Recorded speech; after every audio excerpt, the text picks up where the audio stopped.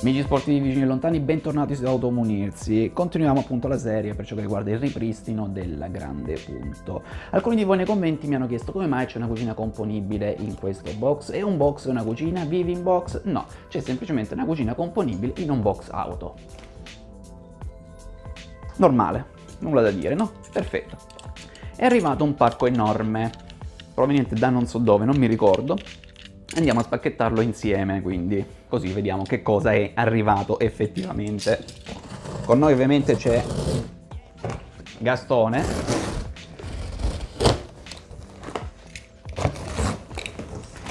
È stato abbastanza difficoltoso in realtà portarlo qui però dal colore si può già vedere si può cominciare ad intuire di che cosa si tratta. Come avevamo accennato nell'altro video stiamo parlando del portellone. Ovviamente il gatto è fuggito via per ovvi motivi. La cosa interessante è che io mi auguro che il vetro sia sano. Un sacco di cartoni per proteggere tutto. Sembra di sì. Andiamo ad aprire dall'altra parte.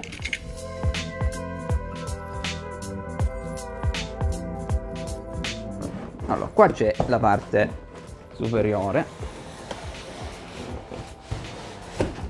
ci sono delle spugne affinché il vetro diciamo, si preservasse durante il trasporto.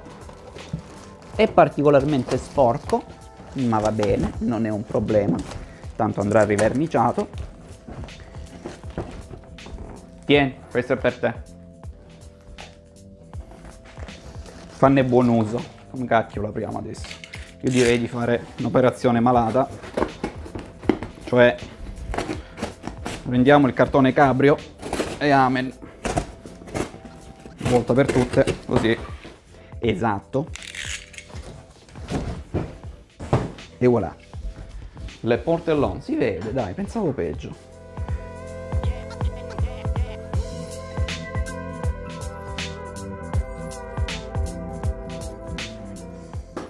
Allora questo è il primo pezzo di un lungo puzzle, i cavi sono stati malamente tranciati ovviamente, non mi aspettavo diversamente, però questo è il portellone che abbiamo recuperato.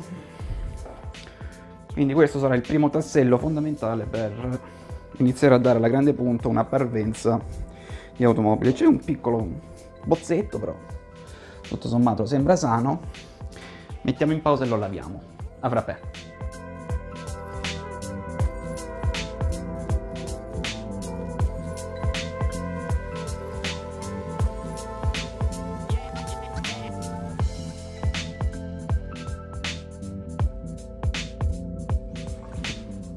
Vedete, avere un lavandino vicino, soprattutto in un box, può tornare anche utile alle volte, anche per questi piccoli servigi, così come avere un fornello, magari tu sei impegnato a fare dei piccoli lavori di manutenzione, bricolage, eccetera, eccetera, cosa fai, cosa non fai, senza dover andare a casa, ti prepari qualcosa da mangiare, visto che comunque la cucina sarebbe anche operativa alla fine della giostra, però insomma, è una comodità, diciamo che limita lo spazio di dovrebbe essere un box auto in teoria questo, limita un pochino effettivamente la capacità di, di stivare veicoli, di parcheggiare veicoli per la notte, però oh, hanno voluto così, per cui.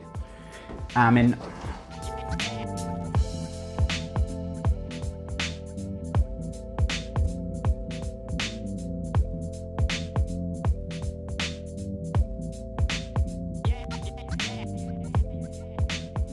Perfetto amici sportivi, questo è il portellone diciamo ripulito, data una sciacquata rapida rapida, tanto verrà comunque intanto adesso riaddobbato per essere piazzato sulla macchina, tanto per cominciare, e in secondo luogo verrà poi verniciato. Mi fa piacere comunque che abbia il terzo stop, perché solamente per quello in genere chiedono dalle 25 alle 40 euro, quindi va bene. Manca la serratura, manca la spazzola, ma tanto la grande punto non ce l'ha, il fregio ce l'ho, quindi bisogna solo ripristinare un pochino di impiantistica recuperare la pellicola oscurante dall'altro vetro perché tanto è elettrostatica e il pannello che più? E la serratura i bistoncini ovviamente lasceremo i suoi perché sono ancora funzionanti. E ripassare un pochino l'impianto elettrico perché qui non so se si può vedere però so, giusto due, no non si vedrà mai, però so, ve lo dico io, ci sono giusto due fili e il tubicino in gomma dello spruzzatore, quindi ci sono solamente i fili dello stop, mi pare di ricordare. Marrone e nero si dovrebbero essere i fili della luce di stop. E non c'è altro. Basta. Va bene, detto ciò, io vi ringrazio per la visione, ci vediamo alla prossima. Ciao. Gastone? Dove sei finito, Gastone? Io fossi voi non mi meraviglierei tanto di una cucina componibile all'interno del box, quanto della doccia che è presente.